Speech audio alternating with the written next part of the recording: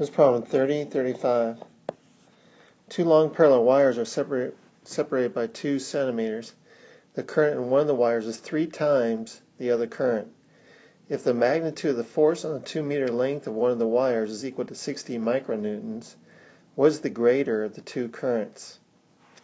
So we have two wires, and it doesn't really say whether they're carrying currents in equal directions, same direction, or opposite directions is not going to really matter because we're going to get the same magnitude regardless.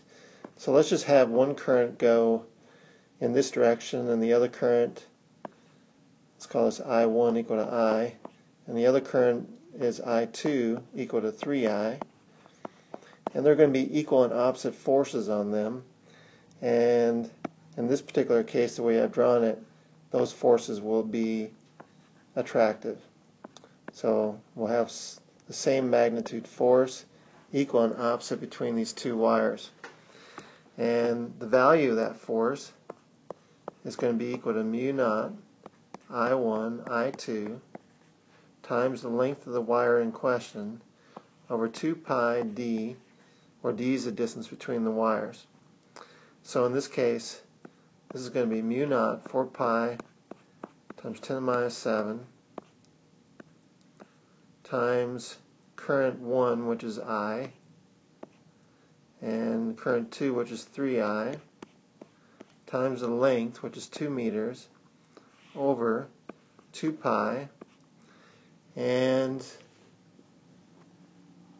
we're separated by 2 centimeters.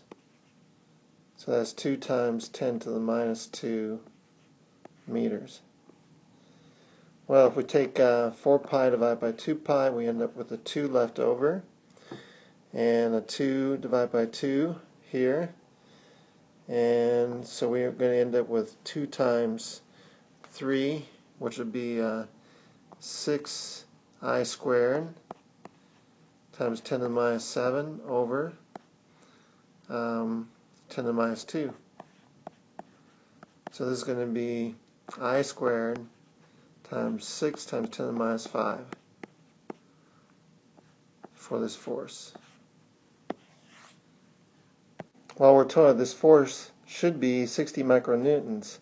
So this force, which is I squared, 6 times 10 to the minus 5, should be equal to 60 times 10 to the minus 6 newtons. And so if we divide both sides, we got I squared is equal to 6 times 10 to the minus 5 over 6 times 10 to the minus 5.